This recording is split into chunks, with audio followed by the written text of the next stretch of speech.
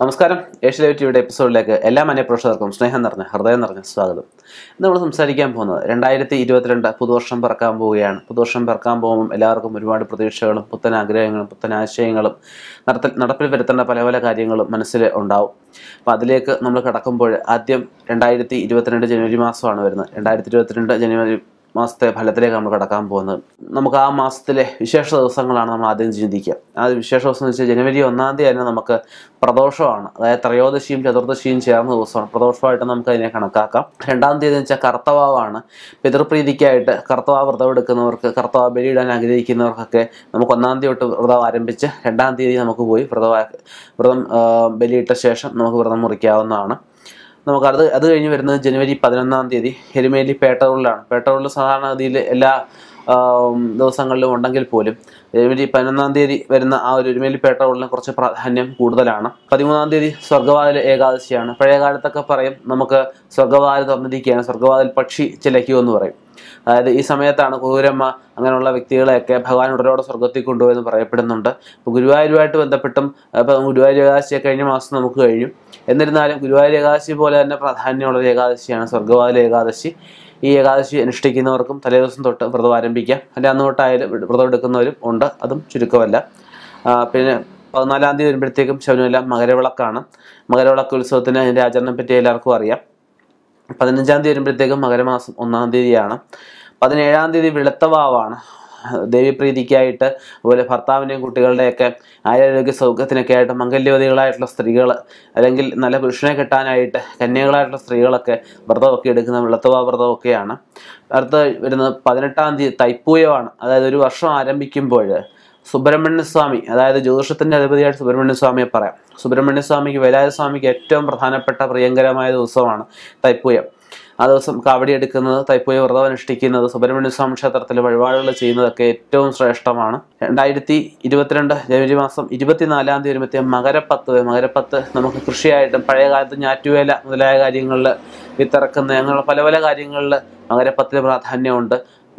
പഴയ കാലത്തൊക്കെ വെച്ചാശ്രയങ്ങളുള്ള കുടുംബങ്ങളിലൊക്കെ മകരപ്പത്തിന് ഗുരുതി മുതലായ കാര്യങ്ങളൊക്കെ ചെയ്യാറുണ്ട്. മുപ്പതാം തീയതി വരുമ്പോൾ വീണ്ടും പ്രദോഷമാണ്. എല്ലാ മാസവും വിശേഷ ദിവസങ്ങളുണ്ട്. എന്നിരുന്നാലും രണ്ടായിരത്തി ഇരുപത്തിരണ്ട് ജനുവരി മാസത്തേക്ക് നോക്കുമ്പോൾ ധാരാളം വിശേഷ ദിവസങ്ങൾ ഉള്ള ഒരു മാസമായിട്ട് പറയാം. നമുക്ക് ഈ മാസം നമ്മൾ നോക്കുമ്പോൾ ഇരുപത്തേഴ് നക്ഷത്രക്കാർക്കും കൂടുതലും ഗുണകരമായിട്ട് തന്നെയാണ് പറയുന്നത്. വളരെ കുറച്ച് ആൾക്കാർക്ക് മാത്രമേ അല്പം ദോഷകരമായ അവസ്ഥ പറയുന്നുള്ളൂ. നമുക്കെന്തായാലും നോക്കാം. ആദ്യം അശ്വതി നക്ഷത്രമാണ്. അശ്വതി നക്ഷത്രത്തിന് സന്താനയോഗം പറയപ്പെടുന്നുണ്ട്. ജോലിയിൽ കാര്യമായ ഒരു നല്ല മാറ്റം തന്നെ പറയപ്പെടുന്നുണ്ട്. പങ്കാളിയുമായിട്ട് അനേകകാലമായിട്ട് പിണങ്ങി നിന്നവരൊക്കെ യോജിപ്പാവാനുള്ള സാധ്യത കാണിക്കുന്നുണ്ട്. അധിക ചിലവൊക്കെ ഉണ്ടാവാൻ സാധ്യതയുണ്ട്. അതൊക്കെ ഒന്ന് ശ്രദ്ധിക്കുക. മാതാവിന്റെ അല്ലെ പിതാത്വമായിട്ടുള്ള സ്വത്തുക്കളൊക്കെ ലഭിക്കാൻ അത് വിറ്റ് കടമൊക്കെ വീട്ടാനുള്ള സാധ്യത കാണിക്കുന്നുണ്ട്. എന്തെങ്കിലും വസ്തുക്കളൊക്കെ പണയപ്പെടുത്തിയൊക്കെ തിരിച്ചെടുക്കാനുള്ള സാധ്യത കാണിക്കുന്നുണ്ട്. പങ്കാളിക്ക് എന്തെങ്കിലും അപകടങ്ങളോ ചെയ്യാത്ത തെറ്റിന് വഴിയൊക്കെ കേൾക്കാനുള്ള സാധ്യതയൊക്കെ ഉണ്ട്. ശ്രദ്ധിക്കുക. ഭാര്യാഗ്രഹത്തിൽ നിന്ന് അടിയന്തരമായിട്ട് എന്തെങ്കിലും സഹായങ്ങളൊക്കെ ലഭിച്ചു എന്ന് വരാം. നമ്മൾ ഒന്നിൽ നിന്ന് മാറി അടുത്ത ബിസിനസ്സിലേക്ക് പോകാൻ ആഗ്രഹിക്കുന്നവർക്കും അനുകൂലമായിട്ടുള്ള സമയം തന്നെയാണ്. ഇവർക്ക് ലോട്ടറി ഭാഗ്യമൊക്കെ പറയപ്പെടുന്നു. വലിയത് അല്ലെങ്കിൽ ചെറിയതായാലും ലോട്ടറി ഭാഗ്യമൊക്കെ പറയപ്പെടുന്നുണ്ട്. പരിഹാരമായിട്ട് ശാസ്താവിന് നെൽപ്പറ എള്ളു പായസം ഗണപതിക്ക് കറുകമാല ഉണ്ണിയപ്പം തുടങ്ങിയ വഴിപാട് ചെയ്യുന്നത് ശ്രേഷ്ഠമായിരിക്കും. അടുത്തത് ഭരണനക്ഷത്രമാണ്. ഭരണനക്ഷത്രത്തിന് ഭരണ നക്ഷത്രത്തിന് കിട്ടാക്കടങ്ങൾ പലതും തിരിച്ചു കിട്ടാനുള്ള സാധ്യതയുണ്ട്.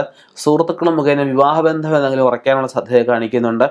തൊഴിൽ രംഗത്ത് കാര്യമായ ഒരു അഴിച്ചുപണി അഴിച്ചുപണി കൊണ്ട് നല്ല രീതിയിലുള്ള മാറ്റം ഉണ്ടാവാം നാൽക്കാലികൾ മുഖേന പലവിധ ലാഭങ്ങൾ ഉണ്ടാവാനുള്ള യോഗം പറയപ്പെടുന്നുണ്ട്.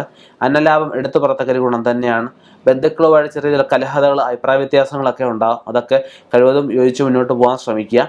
വാഹനങ്ങൾ മാറ്റി വാങ്ങിക്കുക. നല്ല പഴയ കാര്യക്ഷമല്ലാത്ത വാഹനമൊക്കെ കൊടുത്ത് പുതിയ വാഹനങ്ങളൊക്കെ വാങ്ങിക്കാൻ യോഗമുണ്ട്. ചിട്ടി എന്തെങ്കിലും ലഭിക്കാനുള്ള യോഗം കാണിക്കുന്നുണ്ട്.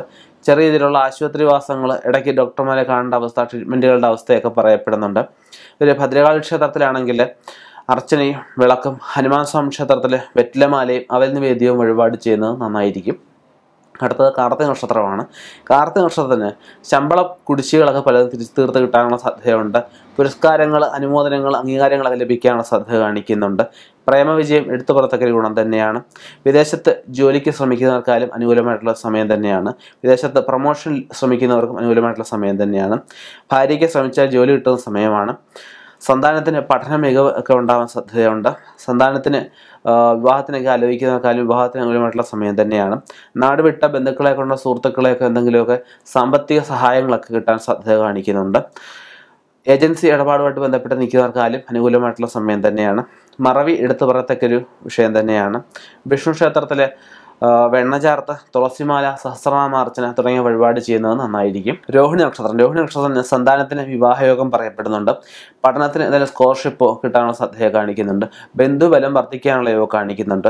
തൊഴിൽ നഷ്ടങ്ങളൊക്കെ നികത്തി മുന്നോട്ട് പോകാനുള്ള യോഗം കാണിക്കുന്നുണ്ട്. ഏറ്റെടുത്ത് എന്ത് കാര്യമായാലും സമയബന്ധിതമായിട്ട് പൂർത്തീകരിക്കാൻ അത് മുഖേന അടുത്തടുത്ത വർക്കുകൾ കിട്ടാനുള്ള സാധ്യത കാണിക്കുന്നുണ്ട്. യാത്രകൾ കൊണ്ട് പലവിധ ലാഭങ്ങൾ ഉണ്ടാവാൻ സാധ്യത പറയപ്പെടുന്നുണ്ട്. അയൽക്കാരുമായിട്ടുള്ള പലവിധ സ്പർദ്ധകളൊക്കെ ഉണ്ടാകും അതിർത്തി പ്രശ്നങ്ങൾ അത് അതിൽ പ്രശ്നങ്ങളൊക്കെ ഉണ്ടാകും അതൊക്കെ കഴിവതും അഡ്ജസ്റ്റ് ചെയ്ത് മുന്നോട്ട് പോകാൻ ശ്രമിക്കുക. ദേവിക്ക് നാരങ്ങാമാല വിളക്ക് തുടങ്ങിയ പരിപാടി ചെയ്യുന്നതും ശിവക്ഷേത്രത്തിലെ ജലധാര പിൻവിളക്ക് അഘോര മന്ത്രടച്ചന തുടങ്ങിയ പരിപാടി ചെയ്യുന്നതും ശ്രേഷ്ഠമായിരിക്കും. അടുത്തത് മകേരി നക്ഷത്രമാണ്. മകേരി നക്ഷത്രത്തിന് സാമ്പത്തികപരമായിട്ട് ചെറിയ ക്ലേശകളൊക്കെ ഉണ്ടായിരുന്നു വരാം മാസാവസാനത്തിൽ അതിലൊക്കെ മാറ്റങ്ങൾ ഉണ്ടാകുന്നതായിരിക്കും ചെറിയ രീതിയിലുള്ള വഴക്ക് കലഹതയായിട്ട് ജോലി ചെയ്യുന്ന സ്ഥാപനത്തിലായാലും മറ്റുള്ളവരുടെ ഒക്കെ ചെറിയ വഴക്കുകളൊക്കെ ഉണ്ടാക്കേണ്ട അവസ്ഥകൾ വരും. രോഗം എടുത്തു പറയത്തക്ക ഒരു ദോഷമായിട്ട് പറയാം. ദേശം വിട്ട് ധാരാളം യാത്രകളൊക്കെ ചെയ്യേണ്ടതായിട്ടൊക്കെ വരാം. യാത്രകൾ മുഖേന എന്തെങ്കിലുമൊക്കെ നഷ്ടം യാത്രാവേള എന്തെങ്കിലും സാധനങ്ങളൊക്കെ നഷ്ടം വരാനുള്ള സാധ്യത കാണിക്കുന്നുണ്ട്. പുണ്യക്ഷേത്ര സങ്കേതങ്ങളിൽ പുണ്യ സങ്കേതങ്ങളൊക്കെ ദർശനം നടത്താനുള്ള യോഗം പറയപ്പെടുന്നുണ്ട്. തുടർ പഠനത്തിൽ ശ്രമിക്കുന്നവർക്കായാലും അനുകൂലമായിട്ടൊരു കാലം തന്നെയാണ്. ലോൺ എടുത്ത് കടങ്ങളൊക്കെ വീട്ടാനുള്ള സാധ്യത കാണിക്കുന്നുണ്ട്. പങ്കാളിക്ക് ശ്രമിച്ചു കഴിഞ്ഞ് ജോലി കിട്ടുന്ന സമയമാണ്. വാഹനം വാങ്ങിക്കാനുള്ള യോഗം പറയപ്പെടുന്നുണ്ട്. അതിര് പ്രശ്നങ്ങൾ അതിർത്തി പ്രശ്നങ്ങളൊക്കെ തീർത്ത് മതിൽ കെട്ടാനൊക്കെയുള്ള യോഗം കാണിക്കുന്നുണ്ട്. വിഷ്ണു ക്ഷേത്രത്തിലെ നരസിംഹ മന്ത്രാർച്ചനയും ഉണ്ണിയപ്പം നെയ്വിളക്ക തുടങ്ങിയ വഴിപാട് ചെയ്യുന്നത് നന്നായിരിക്കും. അടുത്തത് തിരുവാതിര നക്ഷത്രമാണ്. കൃഷി വ്യവസായമായിട്ട് ബന്ധപ്പെട്ട് നിൽക്കുന്നവർക്ക് വളരെ അഭിവൃദ്ധി ഉണ്ടാകുന്നൊരു കാലമായിട്ട് പറയപ്പെടുന്നുണ്ട്. വസ്തു അല്ലെ ആഭരണങ്ങൾ എന്തെങ്കിലുമൊക്കെ വിറ്റോ അല്ലെ പണയപ്പെടുത്തിയോ ഒക്കെ കടങ്ങളൊക്കെ വീട്ടാനുള്ള സാധ്യത കാണിക്കുന്നുണ്ട്. രാഷ്ട്രീയ കലാ സാംസ്കാരിക മേഖലയായിട്ടൊക്കെ ബന്ധപ്പെട്ട് നിൽക്കുന്നവർക്ക് സീരിയൽ സിനിമയായിട്ട് ബന്ധപ്പെട്ട് നിൽക്കുന്നവർക്ക് പുതിയ പുതിയ അവസരങ്ങൾ അംഗീകാരങ്ങളൊക്കെ ലഭിക്കാനുള്ള സാധ്യതയുണ്ട്. അലച്ചിൽ എടുത്തു പുറത്തേക്ക് ഒരു ദോഷം തന്നെയാണ്. എടുത്തുചാട്ടം പരമാവധി കുറയ്ക്കേണ്ട ഒരു കാലമായിട്ട് ഒരു മാസമായിട്ട് പറയപ്പെടുന്നുണ്ട്. സുബ്രഹ്മണ്യ സ്വാമിക്ക് ഷഷ്ടിവ്രതം അർച്ചന പഞ്ചാമൃതം തുടങ്ങിയ വഴിപാട് ചെയ്യുന്നത് നന്നായിരിക്കും. ഓരോ രാശിയിലും ഓരോ ഗ്രഹങ്ങൾ നിൽക്കുന്ന അടിസ്ഥാനത്തിൽ പ്രത്യേകിച്ച് രണ്ടായിരത്തി ഇരുപത്തിരണ്ട് ജനുവരി എന്ന് പറയുമ്പോഴത്തേക്കും നമുക്ക് മകരമാസം വരുന്നുണ്ട് ധനുമാസം വരുന്നുണ്ട്. രണ്ടും പപ്പാതി വെച്ചാണ് വരുന്നത്. ഇതിൽ ആദ്യത്തിന് ബുധനും മറ്റ് ഗ്രഹങ്ങളൊക്കെ നിൽക്കുന്ന അവസ്ഥ ശുക്രനൊക്കെ മാറുന്ന അവസ്ഥയൊക്കെ വരുന്നുണ്ട്. അപ്പം അങ്ങനെ ഓരോ ഗ്രഹങ്ങളും മാറുന്ന അവസ്ഥയും കൂടെ പരിഗണിച്ച ശേഷം ആണ് നമ്മളിവിടെ ഫലങ്ങൾ പറഞ്ഞിരിക്കുന്നത്. നൂറ് ശതമാനം നിങ്ങൾക്ക് കൃത്യത ആവശ്യമെങ്കിൽ തീർച്ചയായിട്ടും നല്ലൊരു ജ്യോതിഷനെ ഫോണിൽ കൂടെ ചോദിക്കുക നേരിട്ട് പോയി കണ്ട് അവന്റെ ജാതകം കാണിച്ച് അല്ലെങ്കിൽ ഡേറ്റ് ഓഫ് ബർത്തും ടൈമും ഒക്കെ വെച്ച് ഗ്രഹനില ഉണ്ടാക്കി കൂടുതലായിട്ട് കാര്യങ്ങൾ അറിയാൻ കൂടുതലായിട്ട് മുന്നോട്ട് പോകാൻ ഒക്കെ ശ്രമിക്കുക. എല്ലാവർക്കും രണ്ടായിരത്തി ഇരുപത്തിരണ്ട് ജനുവരി മാസം ഒരു എടുത്തു പറയത്തക്ക ഒരു ഗുണങ്ങൾ ഉള്ളൊരു മാസമായി തീരട്ടെ എന്ന് പ്രാർത്ഥിക്കുന്നു ആശംസിക്കുന്നു നിർത്തുന്നു. നന്ദി നമസ്കാരം.